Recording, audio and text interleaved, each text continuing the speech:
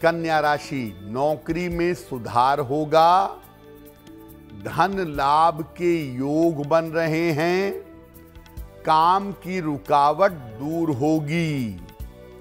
भगवान सूर्य को अगर जल अर्पित कर दें तो आपका दिन और भी ज़्यादा बेहतर होगा। शुभ रंग होगा आपके लिए फिरोजी